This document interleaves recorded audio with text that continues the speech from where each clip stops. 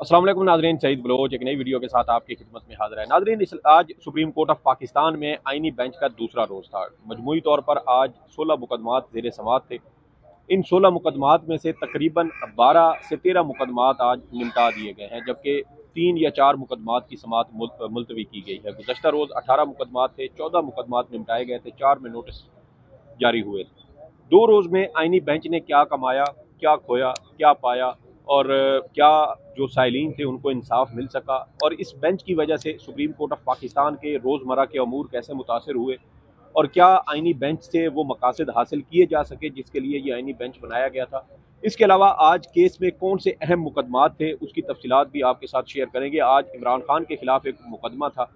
اس مقدمے کی تفصیلات آپ کے ساتھ شیئر کریں گے۔ اس کے علاوہ اسلام آباد کی ایک آئی ٹی یونیورسٹی کا معاملہ تھا۔ بڑا حیران کن یہ کیس ہے۔ اس کی بھی تفصیلات آپ کے ساتھ اس ویڈیو میں شیئر کریں گے۔ میرے ساتھ وسیم ملک موجود ہیں، سپریم کورٹ پر بڑی گہری نظر رکھتے ہیں۔ وسیم، دو روز کے لیے آئینی بینچ بنایا گیا۔ چار بینچ اس کی وجہ سے ڈی لسٹ ہوئے، دو روز کے لیے، چودہ نومبر اور پندرہ نومبر۔ ٹوٹل چونتیس مقدمات تھے۔ چونتیس مقدمات میں سے تقریباً ستائیس مقدمات نمٹائے گئے، سات مقدمات مؤخر کیے گئے ہیں۔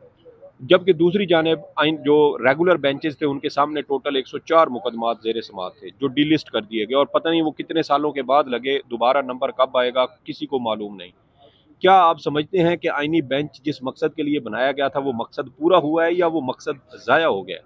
دیکھیے، آئینی بینچ کا مقصد ایک ہی تھا، ورنہ تو حکومت جو ہے وہ ریشنل یہ پیش کرتی تھی۔ کمیٹیوں کے اجلاس میں اعظم نظیر تارڑ صاحب یہ کہتے تھے کہ زیر التوا مقدمات میں کمی لانے کا ایک ہی سبب ہے۔ وہ ہے آئینی بینچ یا آئینی عدالت کا قیام۔ انہوں نے آئینی بینچ تشکیل دے دیا اور پھر وہ ساتھ یہ بھی کہا کرتے تھے کہ ایک جج جو ہے وہ بیٹھتا ہے گیارہ بجے تک۔ ایک جج جو ہے وہ بیٹھتا ہے چار بجے تک۔ تنخواہ دونوں کو برابر مل رہی ہے، مراد دونوں کی برابر ہیں سٹیٹس دونوں کا ایک ہے۔ لیکن جو گیارہ بجے تک کام کرتا ہے، اس کی وجہ سے زیر التوا مقدمات بڑھ رہے ہیں اور جو دو سے تین بجے تک، چار بجے تک کام کرتا ہے اس کے، اس کی وجہ سے زیر التوا مقدمات میں کمی آ رہی ہے۔ تو اس ریشنل کو تو ہم دیکھیں تو وہ تو ایک اسی وقت ہی ہمیں آئیڈیا تھا کہ یہ ایک مذہقہ خیز دلیل ہے۔ مقصد سپریم کورٹ فتح کرنا ہے۔ مقصد سپریم کورٹ کو اس پارلیمان کے کے تابع کرنا ہے جو خود اسٹیبلشمنٹ کے سامنے سرنڈر کر چکی ہے۔ اب آپ نے درست کہا، یہ ابھی یہ معاملہ دو روز ہوئے ہیں جی صرف۔ ان دو روز میں ہم نے کیا دیکھا یا ون لائنر کیا ہے انی بینچز کا۔ زیادہ تفصیل میں میں اس لیے نہیں جانا چاہتا کہ اسے میں یہ سمجھتا ہوں۔ کہ ہمارا بھی اور آڈینس کا بھی وقت ضائع ہوگا جس طرح کے بیٹھے ہوئے کارنامے یہاں پر ہو رہے ہیں۔ اس کو مستقبل کے لیے طے اس لیے کرنا ضروری ہے۔ دیکھیے، ابھی بہت سارے معاملات سامنے آنے ہیں۔ کچھ مقدمات ایسے آئیں گے کہ جو دونوں بینچز کہیں گے کہ یہ ہماری ڈومین میں آتا ہے۔ سپریم کورٹ کہے گی یہ ہماری ڈومین میں آئینی بینچ کہے گا یہ ہماری ڈومین میں کچھ مقدمات ایسے ہوں گے کہ جو آئینی بینچ کہے گا ہمارے ڈومین میں بھی نہیں ہے، سپریم کورٹ کہے گا ہمارے ڈومین میں بھی نہیں ہے۔ اور پھر زیر التوا مقدمات اس طرح سے بڑھیں گے کہ اگر آئین کے آرٹیکل ایک سو ننانوے کیا ایک سو پچاسی کے اوپر یہاں پر اپیل آتی ہے یا ایک سو چوراسی تین کے معاملات ہوں یا پھر کچھ کے پی اور پنجاب ابھی آئینی بینچز نہیں بنا رہے، تو وہاں پر تو ایک سو ننانوے میں ریٹ میں رینٹل ایشوز بھی آتے ہیں۔ رینٹ میں آپ کا جو کسی سی ڈی اے کے ساتھ کسی مطلب کوئی بھی کمپنی ہے، چاہے وہ الیکٹریسٹی کی ہے، گیس کی ہے، اس کے ساتھ آپ کے معاملات ہوں وہ بھی وہاں پر آتے ہیں۔ کوئی بھی بنیادی حقوق کا معاملہ ہو وہ سارا وہاں پہ آتا ہے۔ تو جو وہ تمام تر کیسز کی بھرمار یہاں پر آئے گی تو یہ جو ساٹھ ہزار سپریم کورٹ کے زیر التوا مقدمات ہیں اس میں سے پچاس ہزار آئینی بینچز کے سامنے ہوں گے اور دس ہزار وہ سپریم کورٹ کے سامنے ہوں گے۔ اس سے کیا ہوگا؟ سپریم کورٹ کا جو نظام ہے وہ پریکٹیکلی بیٹھ جائے گا۔ تو ان کو مجھے یہ لگتا ہے کہ مستقبل میں آئینی بینچز یا پھر چلیں چھبیسویں آئینی ترمیم جیسے تیسے تھی آپ نے کر لی۔ لیکن اب آپ نے سپریم کورٹ کے نظام کو سموتھلی چلانے کے لیے آپ کو جوڈیشل سائڈ پہ، کیونکہ دیکھیے، ہمیں سمجھنے کی ضرورت ہے، ایک طرف پریکٹس اینڈ پروسیجر تین رکنی کمیٹی ہے جو کہ انتظامی ہے۔ دوسری جانب آئینی بینچز کی پریکٹس اینڈ پروسیجر تین رکنی کمیٹی ہے جو کہ انتظامی ہے۔ یہ دونوں فیصلے کرتے ہیں کہ کیسز ادھر ادھر کہاں کہاں جائیں گے۔ رجسٹرار جو ہے وہ مارکنگ کرے گا، زیادہ سے زیادہ کلر کوڈنگ کر دے گا۔ تو اس معاملے کو حل کرنے کے لیے مجھے لگتا ہے کہ supreme court practice and procedure committee کو ایک پانچ، سات یا نو رکنی ایک لارجر بینچ بنانا پڑے گا۔ وہ لارجر بینچ جو ہے، وہ سبسٹینشل کوشچن آف لا کا جو تھریش ہولڈ ہے وہ طے کر دے کہ ایک درخواست ہے، اس میں اس حد تک آئینی سوالات ہیں تو یہ آرڈینری بینچ کے پاس جائے گا، یا اس میں اگر اس حد تک آئینی سوالات ہیں تو یہ آئینی بینچ کے پاس جائے گا۔ وہ جو تھریش ہولڈ ہے، وہ طے کرنا جوڈیشل سائڈ پہ ضروری ہے۔ ادروائز آپ کے سپریم کورٹ کا جو نظام ہے، مجھے چلتا دکھائی نہیں دے رہا۔ اچھا یہ بتائیں کہ ٹوٹل چونتیس مقدمات تھے دو روز میں۔ چار آپ نے بینچز ڈی لسٹ کیے ان مقدمات کی وجہ سے۔ کیا یہ بہتر ہوتا کہ یہ چونتیس مقدمات ان چار آئینی جو چار بینچز ڈی لسٹ ہوئے ہیں اگر انہی کے سامنے سماعت کے لیے لگ جاتے تو ان کے اندر کون سا ایک ایسا آئینی یا قانونی نقطہ ہمارے سامنے دو دو روز کے اندر آیا؟ کیا کوئی اہم چیز آئی ہے؟ کچھ بھی نہیں آیا۔ تو یہ زیادہ بہتر ہو جاتا ساڑھے نو بجے یہ لوگ آتے ہیں گیارہ بجے اٹھ کے چلے جاتے ہیں۔ یہ اتنے سپیریئر ہیں کہ ایک بینچ بارہ بجے کا تھا۔ جسٹس اطہر من اللہ اور جسٹس نعیم اختر اخوان پر مشتمل۔ جی جی۔ وہ بینچ بھی ڈی لسٹ کیا گیا۔ کیوں؟ گیارہ بجے یہ بینچ اٹھ جاتا ہے بارہ بجے وہاں پہ سماعت کریں۔ جسٹس اطہر من اللہ پہلے وہ جسٹس منیب اختر کے ساتھ بیٹھے ہیں صبح کے وقت میں۔ جی، تو جی۔ جو آفٹر نون کا یہ بینچ تھا یہ جسٹس نعیم اختر افغان کے پاس تھا۔ لیکن یہ خود کو شاید ججز سپیریئر سمجھنے لگ گئے ہیں کہ اب آئینی مقدمات کے علاوہ کوئی مقدمہ نہیں سنیں گے۔ ویسے جسٹس محمد علی مظہر اور جسٹس جمال بندو خیلی ہمیں دو روز بولتے نظر آئے ہیں۔ جو بینچ کے سربراہ ہیں جسٹس امین الدین تقریباً خاموش یا انہوں نے جب آرڈر لکھوانا تھا تو اس وقت جو بولے بولے اس کے علاوہ وہ خاموش رہے ہیں۔ تو ہولڈ تو ہمیں سارا دو یہ آئینی بینچز کی جو ساخت ہے ان دو ججز کے ہولڈ کو بھی چھوڑ دیجیے۔ جب تک ان ججز کے پیچھے بندوقیں کھڑی ہیں۔ اچھا۔ تب تک یہ آئینی بینچ کام کرے گا فعال ہوگا۔ آئینی بینچ۔ آئینی بینچ ہے۔ اور دوسری بات یار آپ نے چھبیسویں یعنی ترمیم کر لی۔ جس طرح سے بھی کی انڈیپینڈنس آف جوڈیشری کا ٹچ سٹون ہو ٹرائیکاٹمی آف پاور کا ٹچ سٹون ہو دنیا کی کسی عدالت میں آپ اسے چیلنج کریں سٹرائک ڈاؤن ہونی ہے۔ چھوڑ دیجیے پاکستان میں نہیں ہوئی۔ آپ نے چھبیسویں آئینی ترمیم کی اس کی لاج ہی رکھ لیں۔ جوڈیشل کمیشن آپ نے بٹھایا جو کہ مکمل نہیں تھا۔ وہاں پہ آپ نے ووٹنگ کے ذریعے کہہ دیا کہ کورم مکمل نہیں ہے لہٰذا ووٹنگ نو کی اکثریت نے کہہ دیا کہ جوڈیشل کمیشن بن سکتا ہے۔ تو کیا جوڈیشل کمیشن جو ایک آئینی آئینی انتظامی آئینی انتظامی جوڈیشل فورم نہیں ہے انتظامی فورم ہے۔ وہ آئین کو ری رائٹ نہیں کر رہا۔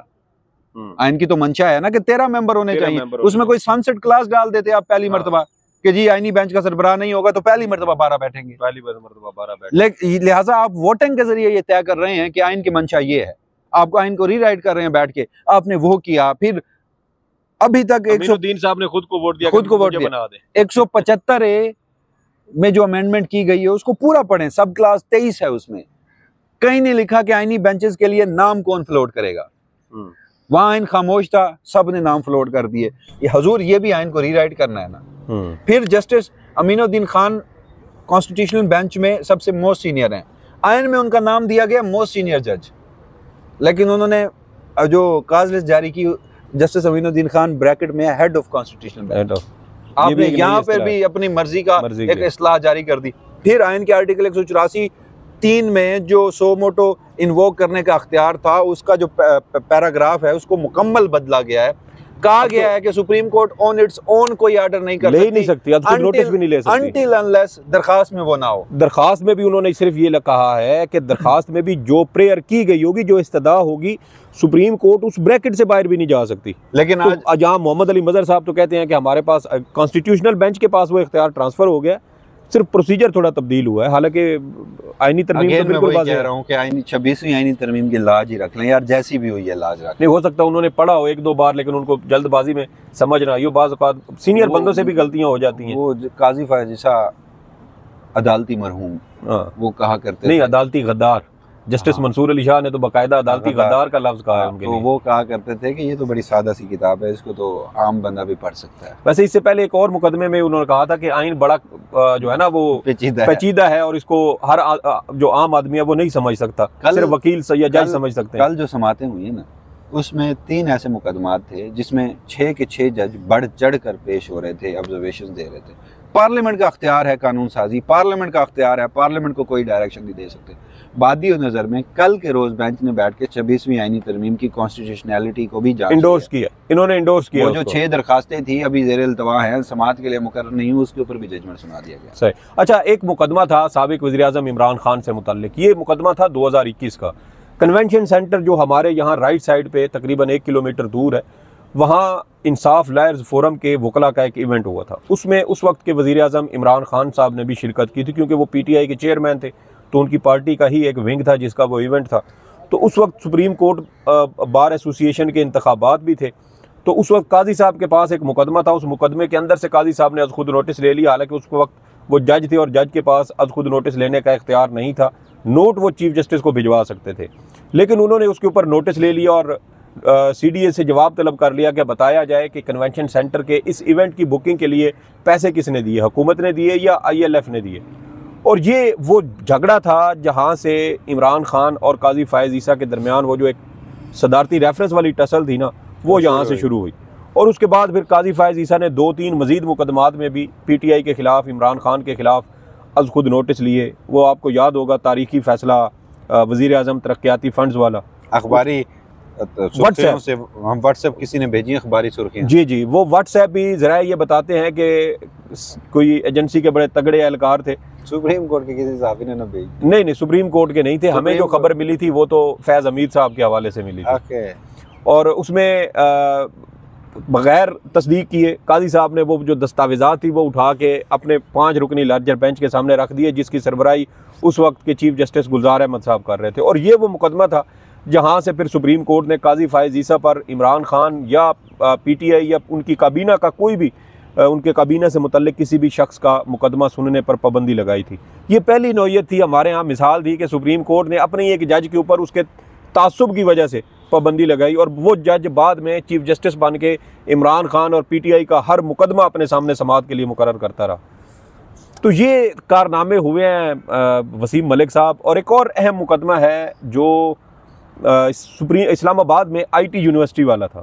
یہ بھی بڑا عجیب و غریب مقدمہ ہے۔ یہ یہ مقدمہ بھی ہے دو ہزار اکیس کا جب اس کی کیس کی سماعت ہو رہی تھی۔ اسلام آباد میں چٹھا بختاور والی سائڈ پر ایک زمین تھی جو پرویز مشرف کے دور میں آئی ٹی یونیورسٹی بنائی گئی تھی۔ اس آئی ٹی یونیورسٹی کی زمین پر ایک بندہ جو امریکی پاکستانی شہری تھا، اس نے یہ کہا کہ میں پیسے یہاں انویسٹمنٹ کرنا چاہتا ہوں انویسٹ کرنا چاہتا ہوں، تو میں یہاں پر بچوں کے لیے، ان کے فیوچر کے لیے آئی ٹی یونیورسٹی بنانا چاہتا ہوں۔ کوئی اٹھارہ کروڑ روپے انہوں نے اس وقت وہ پاکستان لائے۔ لیکن یہاں پر پھر ہوا یہ کہ اسلام آباد ہائی کورٹ کے ججز کی رہائش گاہ کا مسئلہ آ گیا کہ ان کی کالونی نہیں ہے۔ تو فیصلہ یہ ہوا کہ اس سائڈ پہ کوئی زمین ایسی پڑی ہے تو وہاں پہ بنا لیں۔ تو حالانکہ اس وقت جس بندے نے قبضہ لے لیا تھا چار دیواری اس نے وہاں بنائی ہوئی تھی۔